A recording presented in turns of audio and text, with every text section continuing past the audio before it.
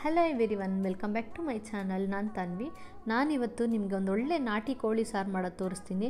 ಯಾರಿಗಿಷ್ಟ ಇಲ್ಲ ಹೇಳಿ ನಾಟಿ ಕೋಳಿ ಅಂದರೆ ಎಲ್ಲರಿಗೂ ಇಷ್ಟ ಇರುತ್ತೆ. ಈ ಥರ ಟ್ರೈ ಮಾಡಿ ನೋಡಿ ನಿಮ್ಗೆ ತುಂಬ ಇಷ್ಟ ಆಗುತ್ತೆ. ಮತ್ತು ಪದೇ ಪದೇ ಮಾಡ್ತಾ ಇರ್ತೀರ?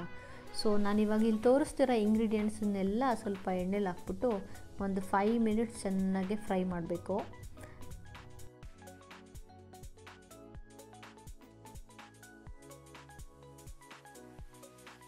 ನೀವಿಲ್ಲಿ ಅಬ್ಸರ್ವ್ ಮಾಡಿದರೆ ನಾನು ರೆಡ್ ಚಿಲ್ಲಿನೂ ಯೂಸ್ ಮಾಡಿದ್ದೀನಿ ಗ್ರೀನ್ ಚಿಲ್ಲಿನೂ ಯೂಸ್ ಮಾಡಿದ್ದೀನಿ. ತುಂಬ ಚೆನ್ನಾಗಿರುತ್ತೆ ಟೇಸ್ಟ್ ಈ ಥರ ಮಾಡಿದ್ರೆ. ಇದೆಲ್ಲ ರೆಡಿ ಆಗ್ತಾ ಇರಲಿ. ಅಷ್ಟರಲ್ಲಿ ನಾನು ಮಿಕ್ಸರ್ ಗ್ರೈಂಡರ್ಗೆ ಸ್ವಲ್ಪ ತೆಂಗಿನ ತುರಿ ಮತ್ತು ಕಡಲೆ ಹಾಕೊತೀನಿ. ಇದೇನಕ್ಕೆ ಹಾಕೋದಂದರೆ ಸಾರು ನಮಗೆ ಸ್ವಲ್ಪ ಗಟ್ಟಿ ಬೇಕಂದ್ರೆ ಹಾಕೊಬೋದು.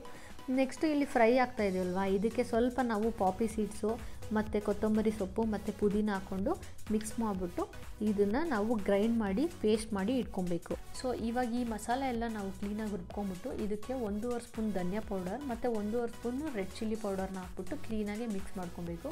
ನಮಗೆ ನಾಟಿ ಕೋಳಿಗೆ ಮಸಾಲ ಏನೇನು ಬೇಕೋ ಅದೆಲ್ಲ ಕ್ಲೀನಾಗಿ ರೆಡಿಯಾಗಿದೆ ನೆಕ್ಸ್ಟ್ ಇವಾಗ ಸಾರು ಮಾಡೋದಕ್ಕೆ ಒಂದು ಪಾತ್ರೆಯಲ್ಲಿ ಸ್ವಲ್ಪ ಆಯಿಲ್ ಹಾಕ್ಬಿಟ್ಟು ಅದಕ್ಕೆ ಒಂದು ಅರ್ಧ ಆನಿಯನ್ನು ಮತ್ತು ಒಂದು ಸ್ವಲ್ಪ ಕೊರಿಯಂಡರ್ ಹಾಕ್ಬಿಟ್ಟು ಕ್ಲೀನಾಗಿ ಮಿಕ್ಸ್ ಮಾಡಿ ಒಂದು ಹಾಫ್ ಸ್ಪೂನು ಶುಂಠಿ ಬೆಳ್ಳುಳ್ಳಿ ಪೇಸ್ಟ್ ಹಾಕಿ. ಏನಕ್ಕಂದರೆ ಚಿಕನ್ ಹಾಕ್ತೀವಲ್ಲ ಫ್ರೈ ಮಾಡೋಕ್ಕೆ ಫ್ಲೇವರ್ ಎಲ್ಲ ಚೆನ್ನಾಗಿರುತ್ತೆ ಅಂತ ಅಷ್ಟೇ. ನೆಕ್ಸ್ಟ್ ಇವಾಗ ಹಸಿದು ಇದ್ಕಿದ ಬೇಳೆನ ಹಾಕ್ಬಿಟ್ಟು ಕ್ಲೀನಾಗಿ ಫ್ರೈ ಮಾಡಬೇಕು. ಸ್ವಲ್ಪ ಅರಶಿನ ಹಾಕ್ಬಿಟ್ಟು, ಸ್ವಲ್ಪ ಉಪ್ಪು ಹಾಕ್ಬಿಟ್ಟು ಆ ಹಸಿ ವಾಸನೆ ಎಲ್ಲ ಹೋಗಬೇಕು. ಈ ಕಾಳು ಹಾಕಿ ಮಾಡಿದ್ರೆ ಸಕ್ಕದಾಗಿ ಬರುತ್ತೆ ನಾಟಿ ಕೋಳಿ ಸಾರಂತೂ. ನೀವೇನಾದರೂ ಟ್ರೈ ಮಾಡಿಲ್ಲ ಇದುವರೆಗೂ ಅಂತ ಹೇಳಿದ್ರೆ ಈ ಥರ ಹಾಕ್ಬಿಟ್ಟು ಟ್ರೈ ಮಾಡಿ ನೋಡಿ, ತುಂಬ ಚೆನ್ನಾಗಿರುತ್ತೆ. ಸೊ ಚಿಕನ್ ಹಾಕ್ಬಿಟ್ಟು ನಾನು ಸ್ವಲ್ಪ ಅದ್ರ ಜೊತೆ ಮಿಕ್ಸ್ ಮಾಡಿಬಿಟ್ಟು ಒಂದು ಫೈ ಟು ಏಯ್ಟ್ ಮಿನಿಟ್ಸು ಚೆನ್ನಾಗೆ ಬೇಯಕ್ಕೆ ಬಿಡ್ತೀನಿ.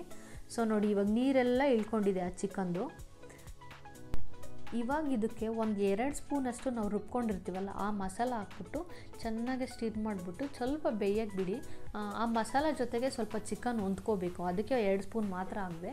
ಸೊ ಇವಾಗ ನಾನು ಒಂದು ಫೈವ್ ಟು ಸೆವೆನ್ ಮಿನಿಟ್ಸ್ ಬೇಯಿಸಾದ್ಮೇಲೆ ಫುಲ್ ಮಸಾಲ ಏನಿತ್ತು ಅದನ್ನು ಫುಲ್ ಹಾಕ್ಬಿಟ್ಟು ಚೆನ್ನಾಗಿ ಬೇಯಿಸ್ತೀನಿ.